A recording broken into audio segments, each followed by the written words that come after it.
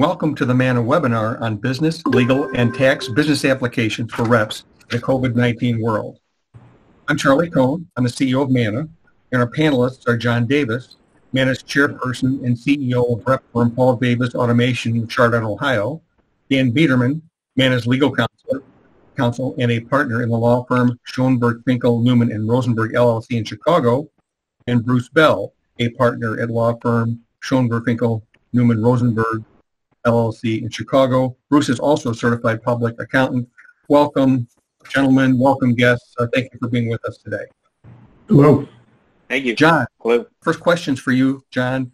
How do I put myself in my customer's shoes so I will know the best ways to engage with them in the current environment? Oh, well, I, Charlie, I think that's a relatively straightforward one. Um, I know that a lot of customers have been disrupted uh, in their daily lives, just like all of us have, and everybody's routine has changed. Um, there's a lot of people who find their spouses at home, their kids at home, maybe working out of a, especially if they're not used to working at home, working out of a smaller environment. And uh, I think that's the same for a lot of uh, reps as well. Uh, although we travel quite a bit, there are many reps who um, uh, work from home or, or, work from a small office, and they find themselves in a new spot. So I, I think the common ground that we can all find is that nobody has a normal schedule anymore. A lot of things have been disrupted. And just recognize that with your customer and realize we're all in the same boat. Fair enough. Thank you. Dan, how would you characterize the impact that COVID-19 has had on the legal issues confronting the businesses you represent? Any general observation or trends? Thank you, Charlie. Um, as John indicated, uh, we are all in the same boat. This is uncharted territory.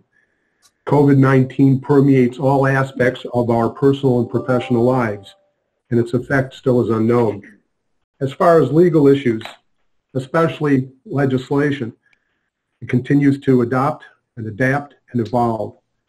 Sometimes it's a moving target only because the nature of the legislation. The CARES Act, for instance, is over 800 pages and still does not provide all the information necessary for people to uh, uh, utilize its benefits and effects on businesses, legal matters, uh, really they share the same type of questions and issues, whether they're large or small, whether they're sales reps or manufacturers or distributors or others.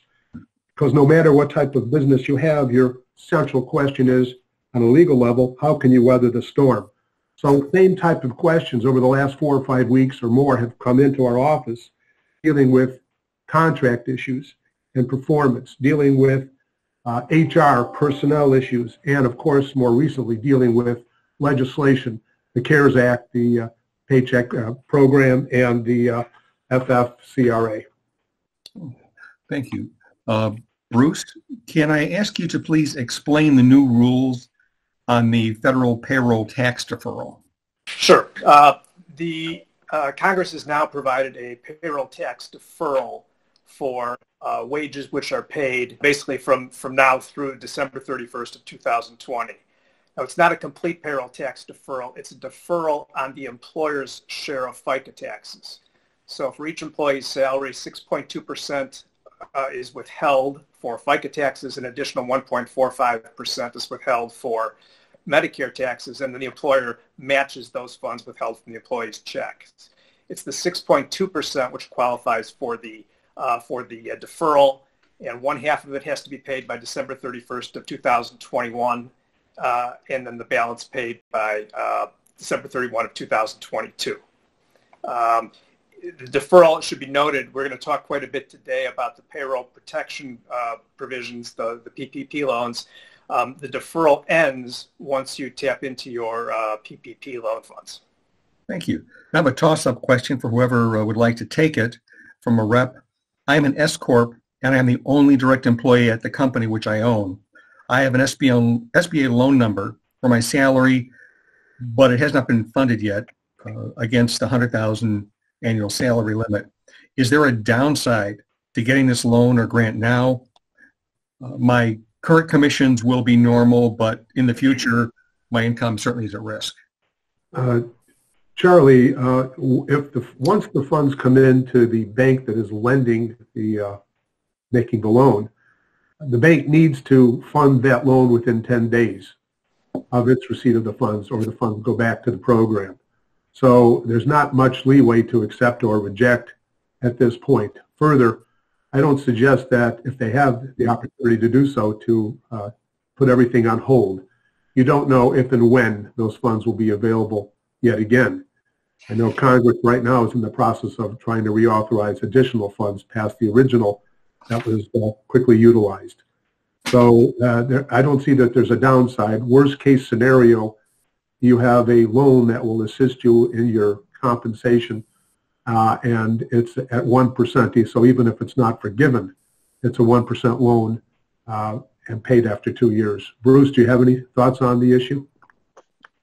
Yeah, I would. Uh, I would just suggest that anyone that's operating as an S corporation may need to rethink their strategy for how they deal with compensation. A lot of S corporation owners take money out in the form of salary, and some take money out in the form of S corporation distributions.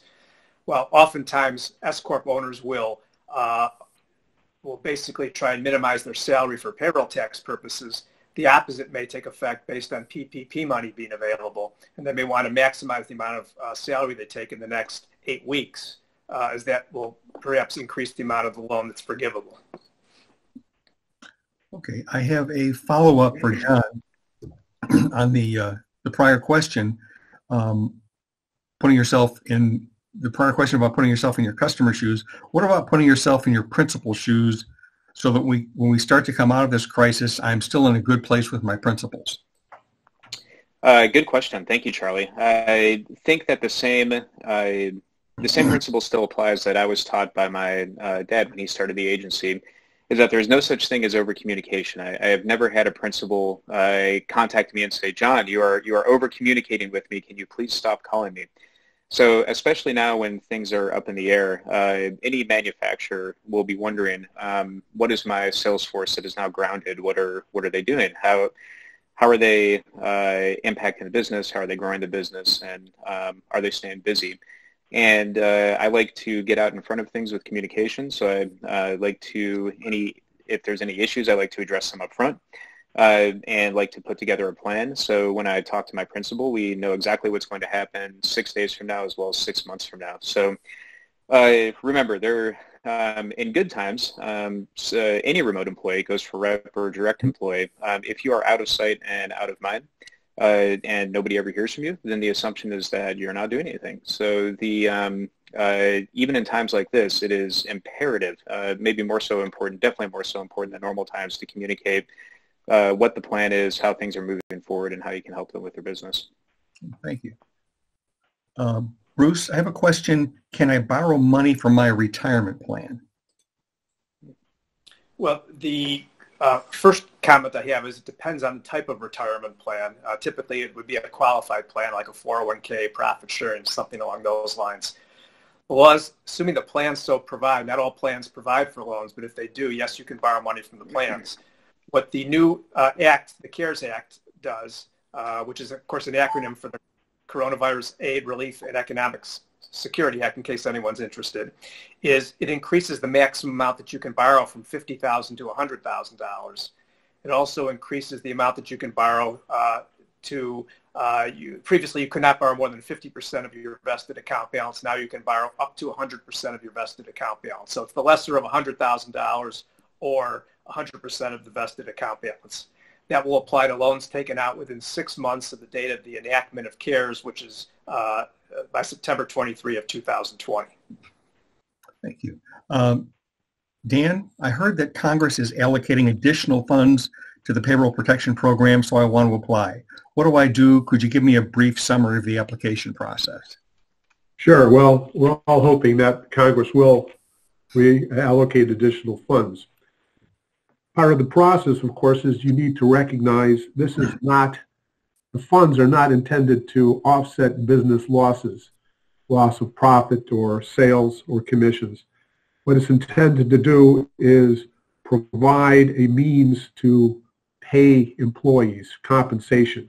It's not about what you make, but what you paid. So part of the application process is looking to what your payroll costs were last year. And you're entitled based upon what that number may be, and you can take into account any number of items, including uh, cost of health insurance, uh, cost of retirement uh, um, funds that were, were paid. Uh, you have uh, you have that, and there's a formula two and a half times that amount with the documentation that you will provide. There's a formula on the application, and it will then give you what is the maximum amount of that loan, possible loan that may be av- made available to you. You need to find a bank that is going to be accepting that application, and we have found with many of the people we've dealt with, their the local bank is a good source. Many local community banks in fact, we're able to process loans more expeditiously and get them funded than some of the more national, larger, uh, uh, larger banks. Now, um, as far as the Paycheck uh, Protection Program, uh, the some of the key parts, the applicant uh, must have been in operation uh, as of February 15th of this year.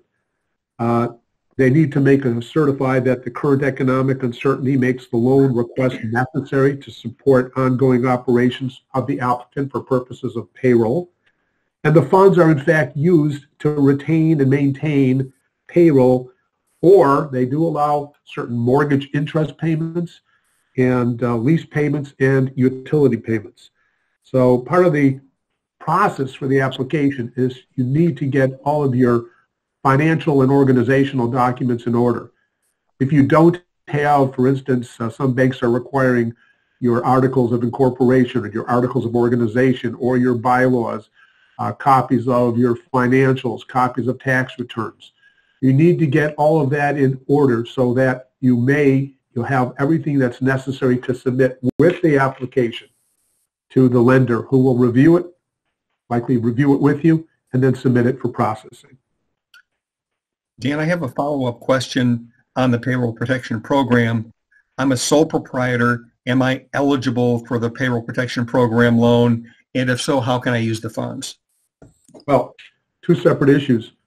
Uh, one, a sole proprietor certainly is eligible uh, for uh, a loan under the PPP, as are independent contractors uh, and, and others. Uh, and for that, again, you will look to the income you had last year. Be mindful of that uh, some of the factors that go into the loan is uh, that you cannot utilize income or payroll that's in excess of $100,000. So if some employees are making more, for instance, $150,000, you will use $100,000 of that amount.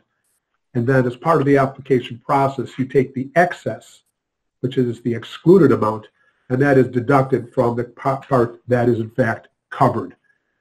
And uh, uh, you can do that whether you're a sole proprietor or you're a member of an LLC or a partner or uh, an owner of a corporation. Um, but it is important that you not exceed or utilize more than $100,000 for compensation or calculation of the uh, compensation that comes within the purview of the PPP. Bruce, I have a follow-up for, for your question. The question you were asked about borrowing money from a retirement plan. What about taking an early distribution from a retirement plan? So actually the retirement plan withdrawals are an even better option than loans because you have the flexibility of taking a withdrawal, favorable tax consequences, and of course if you choose to repay it, you're, um, you basically don't have to pay the tax. Um, in the past, when when an employee wanted to take money out of a retirement plan, they would have to take an early distribution.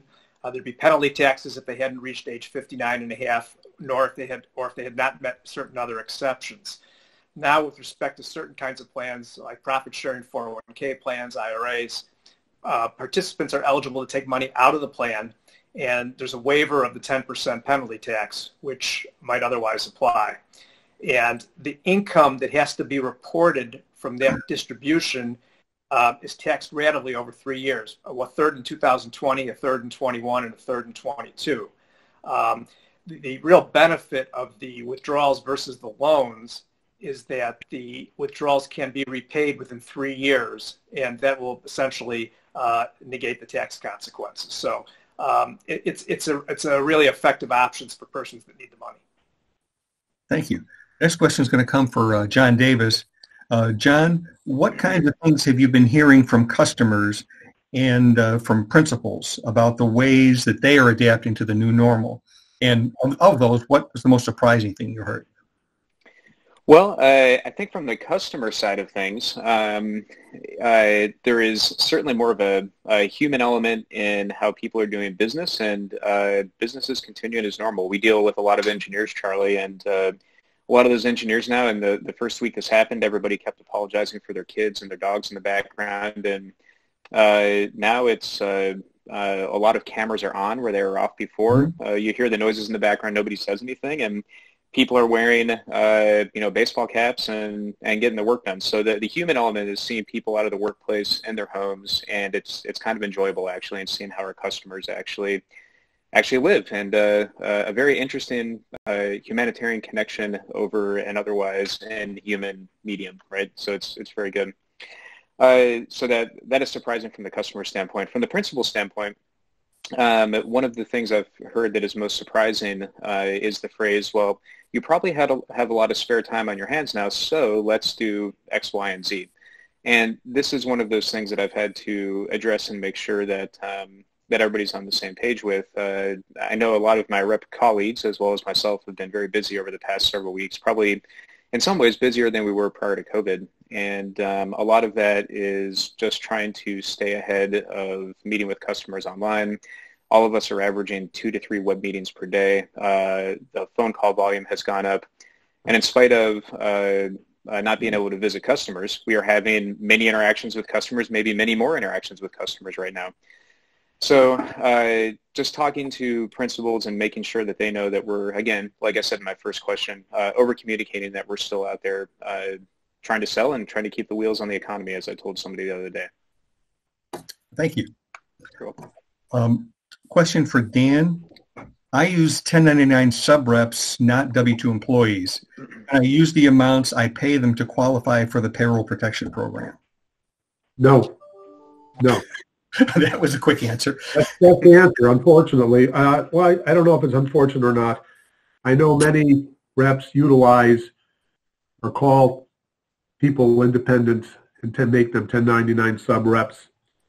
Uh, but uh, the law, the uh, Paycheck Protection Program, does not allow the expense to be used in the calculation of the amount for a loan, nor for the proceeds used uh, to pay an independent um, contractor.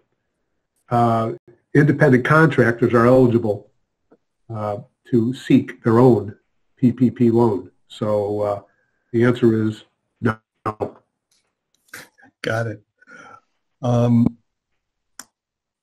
Bruce, could you explain, please, the new above-the-line charitable contribution deduction? Yes. Uh, typically you're not allowed to deduct your charitable contributions unless you're itemized. Uh, with the 2017 Tax Act having increased the standard deduction of $12,000 per taxpayer or $24,000 for married taxpayers filing joint returns, and some other statutory changes, very few people, or shall I say a lot fewer people are able to take advantage of charitable contribution deductions. For those who do not itemize their deductions, there's a $300 deduction allowed uh, regardless of whether you are, actually if you don't itemize deductions. So it comes off your your your just your gross income. Um, it's basically it's not a big tax savings in any case, of course, but it's uh, it's allowable for contributions basically to public charities, uh, certain types of private foundations, um, and it helps all taxpayers again, regardless of whether you itemize.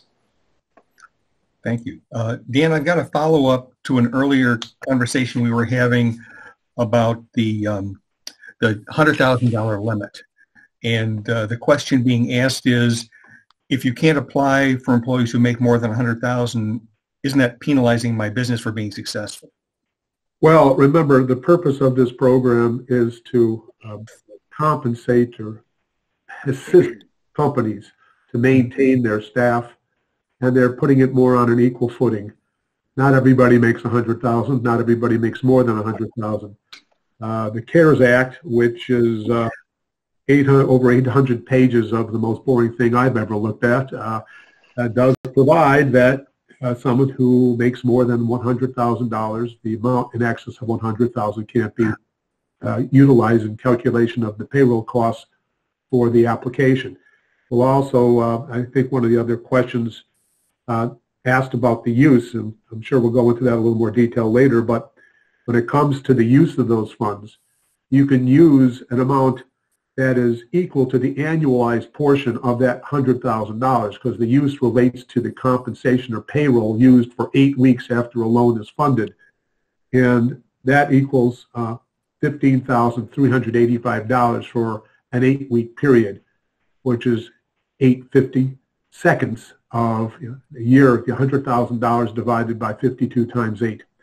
So it's a maximum of 15,385 based upon what I've read. Thank you. Um, Bruce, what is the new employee retention tax credit? Okay, basically it's a relief for certain businesses that have been affected by the uh, coronavirus. Uh, any business that's been fully or partially suspended due to COVID-19 or any business whose gross receipts during any calendar quarter are less than 50% of what they were during the prior year's calendar quarter is eligible for the employee retention credit.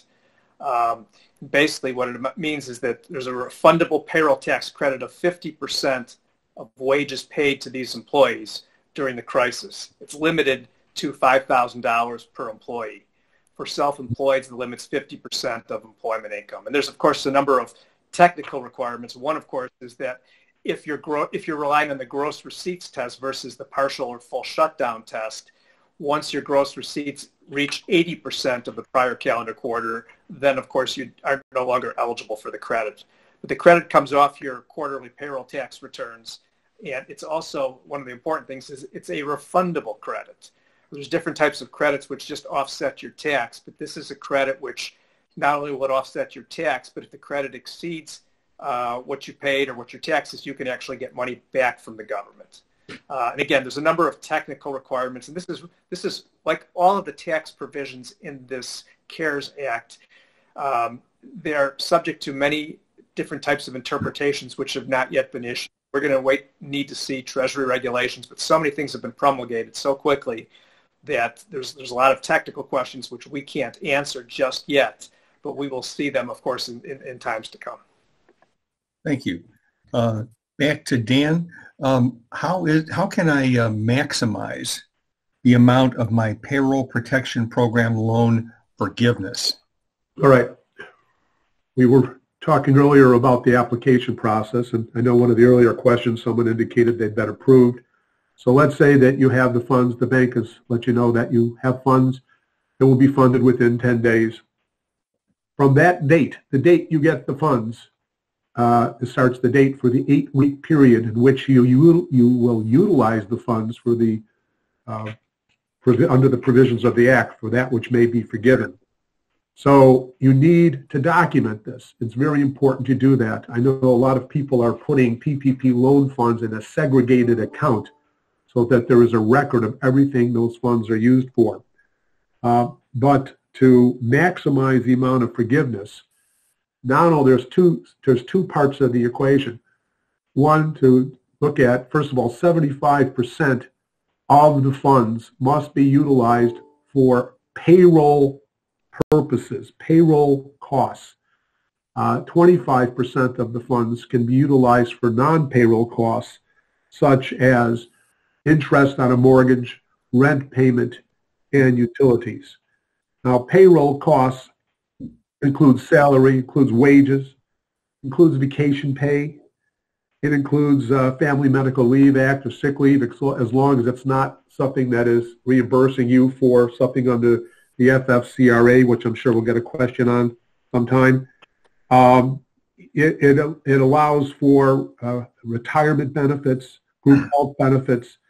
All of that, those are eligible expenses which uh, are, are part of the funds that you can, you know, you can use the PPP funds for.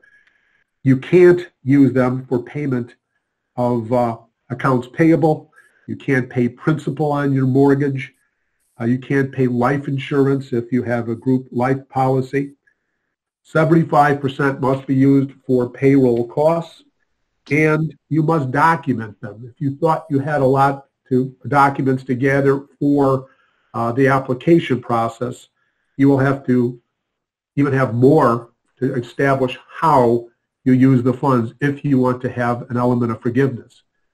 The second part of the test is not only how you used it uh, as far as payroll costs, but also the number of employees that you currently have versus what you had in, a, in the prior time period. And I have a part of the act here, so let me just tell you, as part of the calculation, you need to look at the average number of employees you have for the eight-week period following the funding of the loan. Uh, you then look to the number of employees you had on average between February 15, 2019 and June 30, 2019. Also, the number of employees you had between January 1, 2020 and February 29, 2020.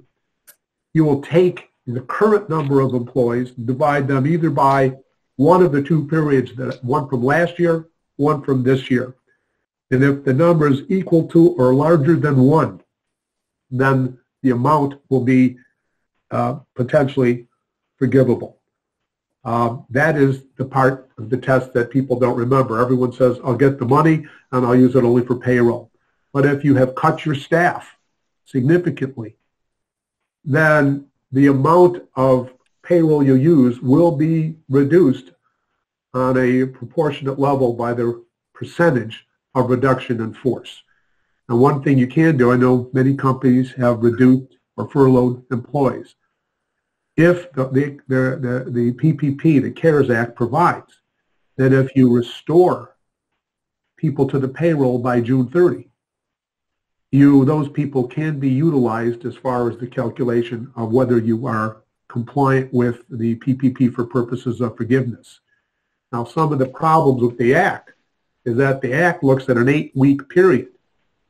So if you get have received the funds already, that eight-week period will expire before June 30.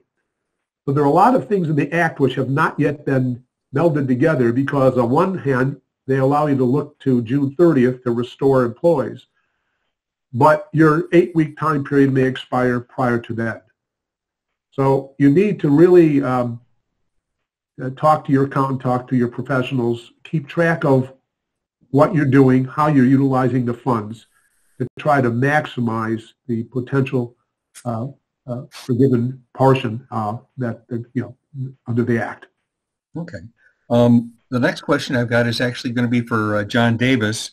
Uh, John, you have been, um, I'm seeing some some best practices from some principals and some not best practices uh, to the extent that um, you can do so without identifying the guilty.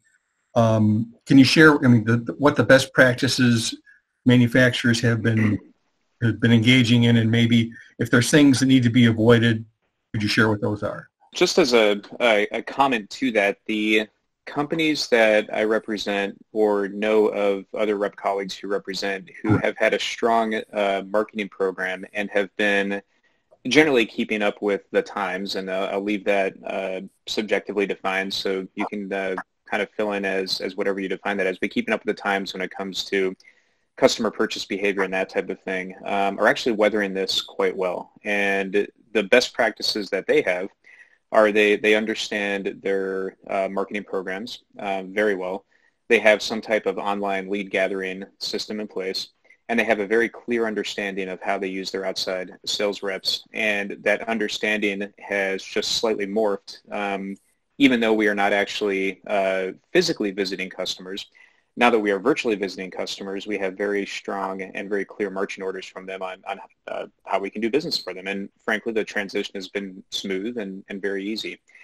Uh, the bad practices, if you will, um, I, I, think this whole event caught a lot of companies who maybe have been underinvesting in their marketing program and lead gen programs for quite some time It caught them with their proverbial pants down, and uh, they do not have a good understanding of uh, how outside sales reps fit into a modern marketing channel. Uh, maybe they don't even have a marketing program or lead gen program. And uh, they are usually the ones who, to an earlier comment, are saying, you know, now that you have a lot of free time on your hands, that, that type of comment. Um, so I think they're scrambling to try to figure out how to do business because it's something that they haven't been forced to think about prior to uh, to this event. So what we're seeing from them, unfortunately, are a lot of uh, um, busy work, I would say, for the purpose of keeping keeping their sales force busy, uh, which uh, we are busy enough. Thank you very much doing sales activity. But uh, uh, everybody is listening, and that's the good thing. And um, even the uh, manufacturers who haven't maybe put a lot of thought into this before, they're asking us the same questions, and they're saying, "Hey, reps, how do we do better?" So um, I think this is going to accelerate a lot of companies into the modern world in terms of marketing, lead gen, and sales. Thank you, John. Uh, for Bruce, uh, when is my 2019 federal income tax return due, and when are my 2020 estimated tax payments due? Not for a while. Um, Congress has extended filing deadline for 2019 income tax returns and the first two installments for 2020 estimated tax payments to July 15th of 2020. So you have you, you if you haven't filed your tax return, you've got an automatic extension to July 15th. You don't have to file anything. Gift tax you have to file. Those are extended to July 15th. Uh, estimated tax payments the same. Again, keep in mind I'm speaking about federal deadlines state deadlines uh, are somewhat different. Like in, in, Illinois, for example, the uh, first quarter estimated tax payment was still required to be made by April 15th of 2020, even though returns, uh, the return filing deadline and um, payment deadlines have been extended. The estimated tax payments were required to be made by April 15th. So you do have to check your states, but virtually all federal deadlines for filing have been extended to July 15th for anyone that's doing anything a little more exotic, like investing in an opportunity zone to defer mm-hmm. capital gains taxes or doing a tax-deferred exchange, you also have some extensions to July 15th of 2020 as well. So there's considerable flexibility uh, to extend. Thank you. Dan, uh, we need to circle back, Dan, to the um, that $100,000 uh, limit. Um, and the, the question becomes, uh, when you talk about salary, is it salary or is it all employee benefits of a monetary value? It's the compensation part, uh, payroll. Uh, if it does not include uh, benefits uh, such as healthcare benefits or retirement funds, that could be in addition to the normal compensation and also one of the factors that uh, the government's going to look to. And by the way, it's ultimately not the government that will determine the forgiveness. It's an application that you will make. If you have a loan, mm-hmm. keep in touch with your bank because ultimately you will need to get the form from the bank requesting forgiveness uh, of the loan. It's the bank that will give you the form. You will submit it with the documentation, and ultimately the bank will make the decision uh, at this point, I'm not aware that the form that the PPP program will, will require for the bank for to give its, uh, its, its borrowers has yet been prepared. This is, again, a, a moving target not only for uh, businesses but also for the government. Uh, rules change. Uh, when the PPP uh, program first was enacted, there wasn't a 75% requirement for payroll. It was uh, was open. After after the fact, they had a regulation which said 75%. So things are a moving target. But as far as your specific question, it's only the compensation part, the payroll part, that is limited to 100,000. If you make more than 100,000, you can include the additional benefits you receive that are included within the mm-hmm. scope of uh, the PPP. Got it. Okay. Um, back to Bruce. And how did the new rules work on required minimum distributions for 2020? Congress has given everyone a holiday for 2020 minimum distributions. Um, participants in retirement plans who have reached a certain age are generally required to withdraw funds from their retirement accounts each year, generally over their life expectancy. Some of you may remember the Great Recession in 2009 Congress made the same change. They allowed participants to skip a year of minimum distributions. And what that does is that means when the market is down, as is currently the case, you have the option of not taking money out of your retirement account, which is great for people that have the money that are retired and that can find other resources with which to take money to, to, to subsidize their standard of living. Now, for uh, people that cannot, of course, it's not that, that terrific of a benefit. Um, one of the options those people do have is take what you need out of the plan potentially, uh, but maybe not take the full amount out, or perhaps take out your distribution in kind and maybe not cash it in right away or sell it right away, but wait a little bit until you have some flexibility. And one of the one of the unfortunate things is, is some people take their required minimum distributions out in January. And what a lot of people have asked is, do I have the opportunity to pay it back? And the answer is no. However, if you've, for whatever reason, taken out your 2020 minimum required distribution and it's less than 60 days since the time you took it out, you may have the opportunity to roll the money back into your plan and thereby avoid the tax for the 2020 year. But to the extent that you qualify, obviously to the extent that you don't need the money, if you have the money in your retirement account, um, particularly if it's invested in equities, mutual funds, stocks, whatever the case may be, which have depreciated in value, this is a real benefit and one you should take advantage by leaving the money in the plan. Um, and, and, this may be a little bit too arcane, but I'll go ahead and ask it. Um, with on minimum required distributions, uh, there are also minimum required distributions for inherited IRAs. Is there a holiday for those as well? Yeah, inherited IRA is basically an IRA which is paid to someone other than the surviving spouse. Mm-hmm. Yeah, so there is a similar uh, one-year house as well. Got it. Okay, thank you. Uh, Dan, uh, the next question coming up is, can the payroll protection program loan proceeds be used to cover paid sick leave? How about separation or retirement pay? The answer is yes. It could be for used for sick leave, except for reimbursement to a company for what they be paying under the uh, FFCRA. It could also be used uh, for separation or retirement pay as well. So that is allowed and would be deemed part of the forgivable nature of the loan. Can an employer require uh, one of its employees to to utilize the benefits under the FFCRA, which stands for the Families First Coronavirus Response Act. Uh, and just as first we should say what that's what, what that is. That predated the uh, PPP, and it was the first legislation that was uh, specifically enacted to deal with the issues uh, being confronted by COVID.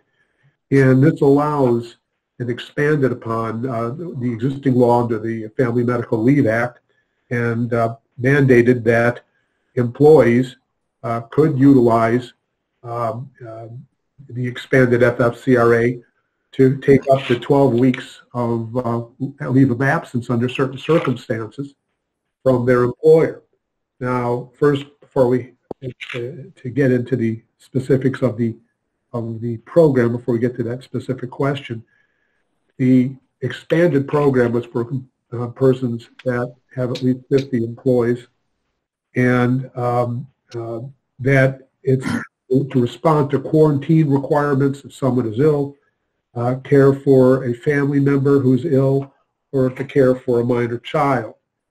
Uh, under the program, the, uh, for instance, the expanded FMLA, you have 10 days, which is unpaid, and thereafter it can be paid. So if you're taking care of a child, you can get up to $200 a day uh, for uh, a maximum period.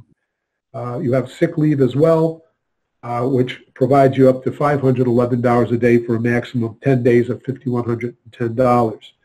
Um, I, am aware that some companies have wanted to continue to pay their uh, their personnel even if they're off-site and not necessarily working. They've been very generous, uh, and we have advised those those companies to consider um, instead of doing that uh, to uh, utilize the funds um, that are uh, available for that purpose, because at the end of the day, the funds that you expend under the FFCRA uh, are recoverable from the, the government through uh, through taxes.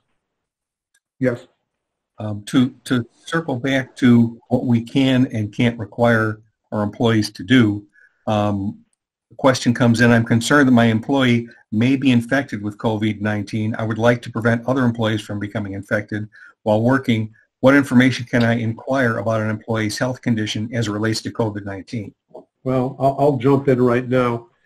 Ordinarily, the law does not allow you to make inquiry regarding uh, uh, certainly a person suffering from a disability or, or illness.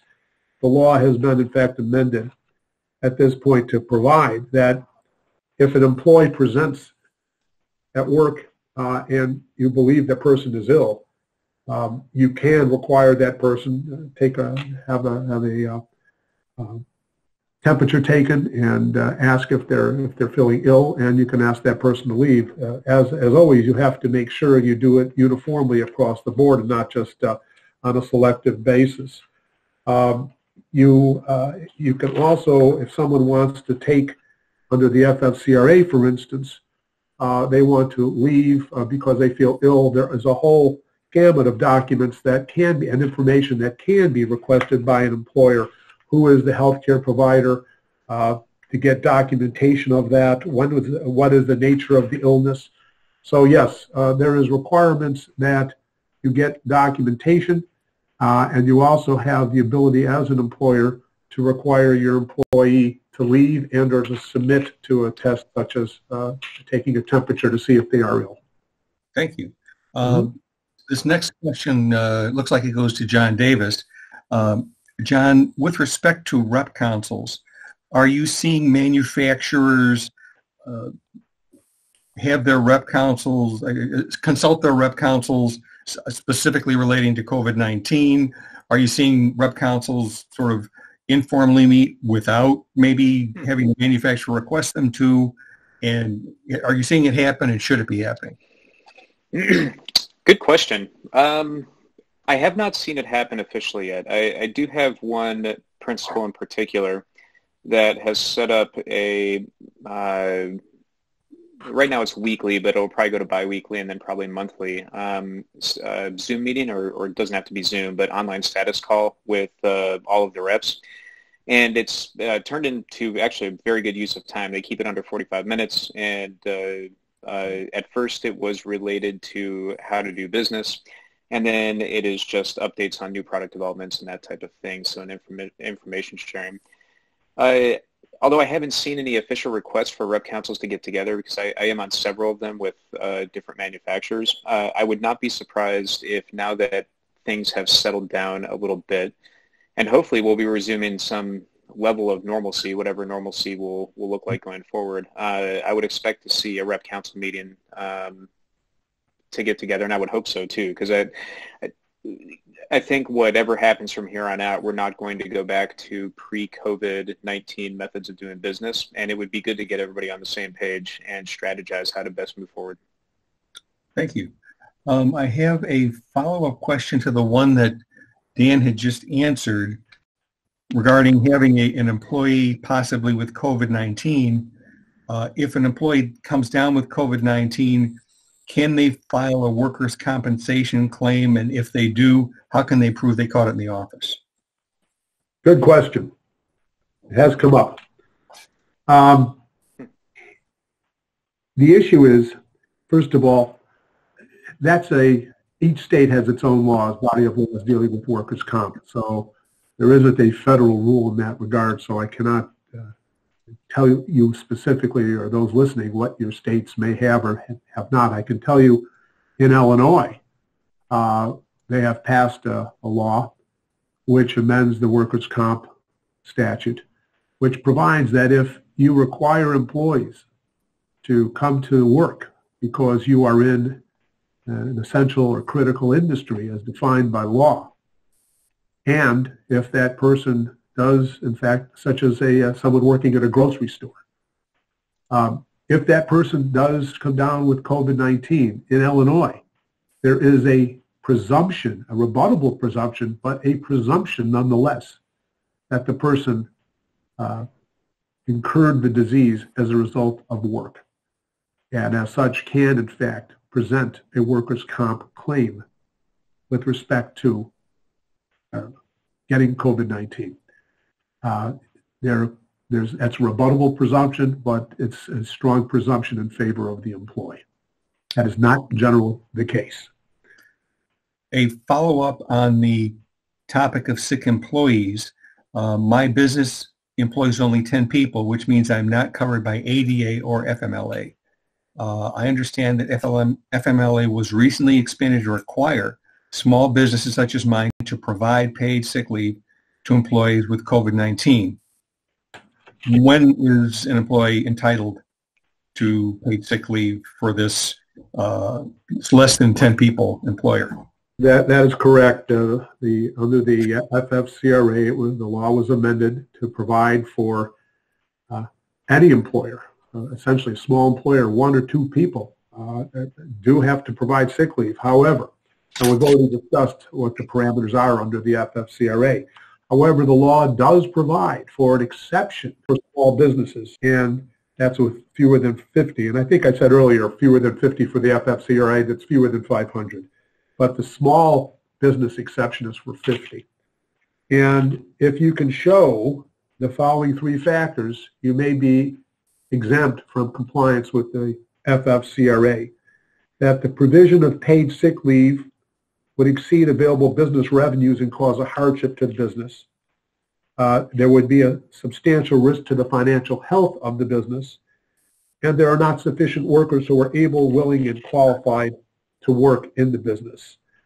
So you, you can, if you are a small business, seek to be exempt, even if an employee says, I need to I get the benefits under the F, FCRA. The law does take into account a small business. Now, there's definitions of what makes a small business and uh, certain other requirements. But if you are, in fact, a business that has less than 50 employees and you have issues with FFCRA, be mindful that there are there is an exception specifically for small businesses.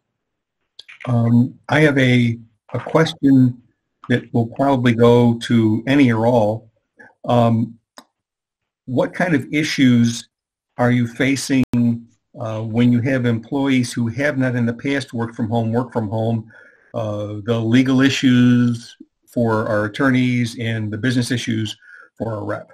We, we have uh, gosh, for the past um, 13 or 14 years, we somewhere in that time frame, we have operated uh, virtually. So um, all of us, uh, including our inside salespeople and um, uh, our bookkeeper, and the outside salespeople, of course, we all work out of our home offices, and um, we've already had that infrastructure in place. So I, I don't uh, I don't know if I'm I'm the right person to answer that question. I, I will say that we did shore up uh, our resources and uh, make sure that everybody has access to some type of web conferencing system. We we have the right type of uh, equipment, you know, Bluetooth headsets, that that type of thing. But um, our email and our video conferencing and everything has been in the cloud for years now, so we haven't haven't really seen a disruption there. Um, yeah, and from a manufacturer standpoint, with our manufacturers, they uh, again, it kind of goes back to companies who have been keeping up with the times, so to speak, and they've invested in cloud uh, technology, and uh, maybe they've been trying to attract employees by offering a day or two to work from home as part of a uh, incentive package or recruitment package. Those companies are faring pretty well. If, if you have a little bit of the infrastructure, flipping the switch to make it a, a full-time work from home deal is uh, is not that hard. Let me jump in there. Um, and remind employers and I guess employees as well um, issues dealing with working at home. The laws still apply. Uh, wage and hour laws still apply. Just because someone might be uh, working at home, if you send an email and expect a response on a Saturday or even on a Tuesday night after they've put in a full day, you potentially, if this person is already is someone who's normally subject to overtime issues, is entitled to overtime. You cannot have more hours just because they happen to be uh, wearing shorts and a sweatshirt and walking around their house.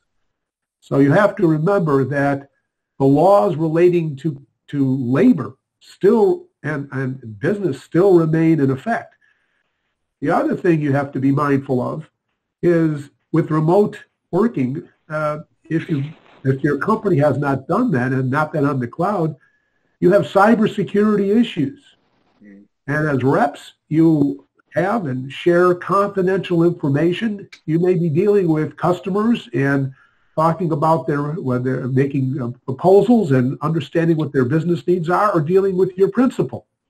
And if that's the case and your system is not secure, you could be jeopardizing the business of not only your employer or your company, but your principal and your customer.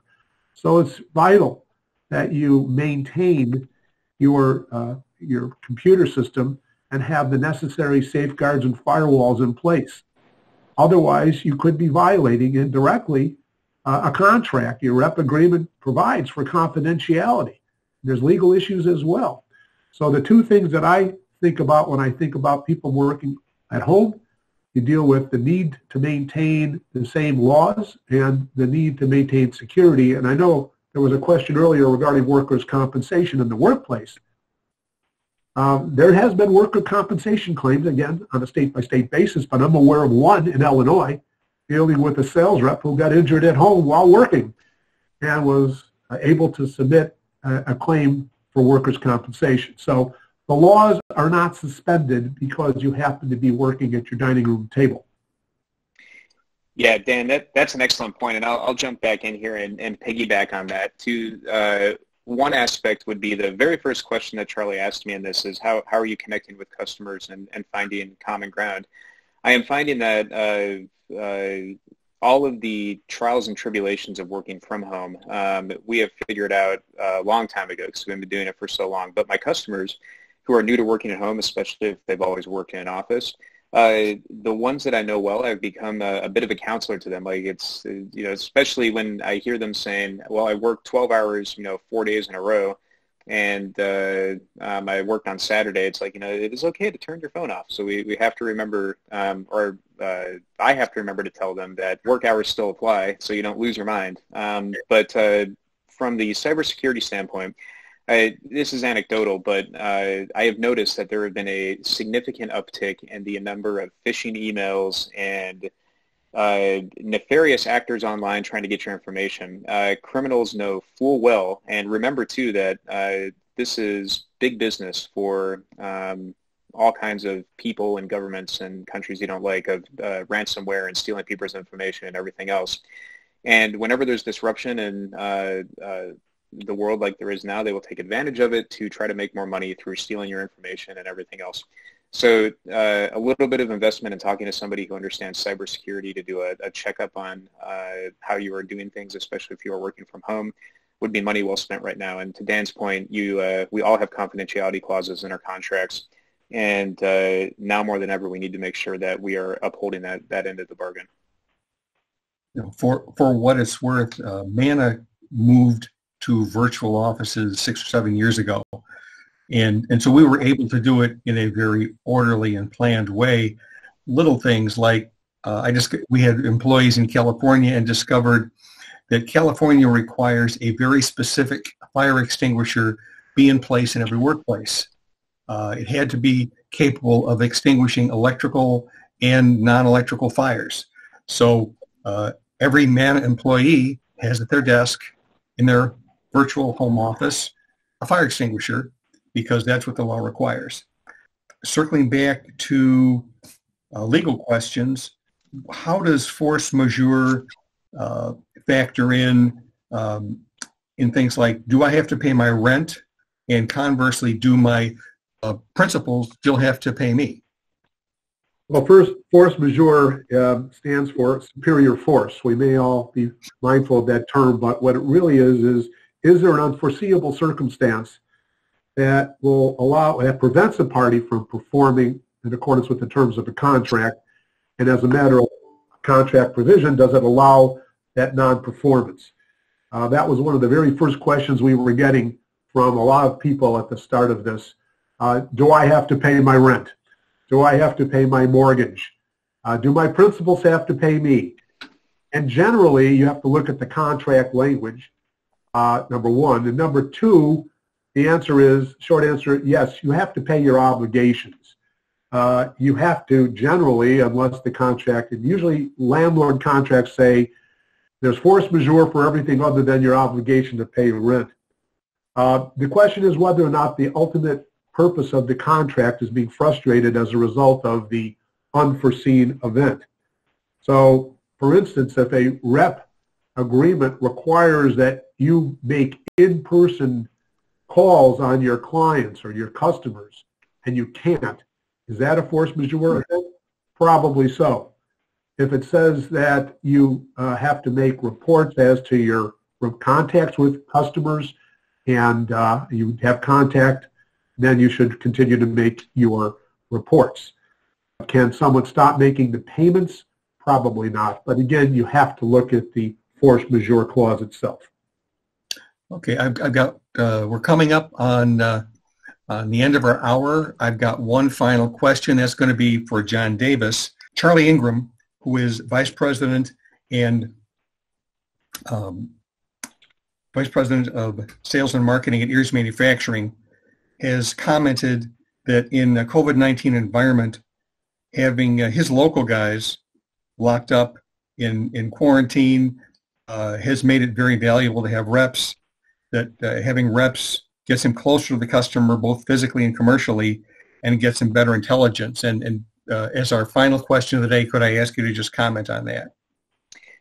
Well, hello, Charlie. How are you? How are you doing, Charlie Ingram? Um, always a pleasure. And uh, yeah, I mean, Charlie couldn't have said it better. Um, we are here, and uh, from a customer relationship standpoint, uh, reps are still well positioned to get in front of customers, and that's what we've been doing. Frankly, the only thing that's changed in our job role is that we can't see customers physically, and leading up to COVID-19, that was maybe only 20 to 30 percent of what we did. A lot of customer contact in the modern age is done via phone and a little bit of web meeting, and now a lot of it's done during web meetings. So uh, we are here to help, and if we have to go visit somebody who is an essential business, we are certainly able to get there because we're uh, usually driving distance away from, from where they're at. So Charlie has a good point, and um, I appreciate that.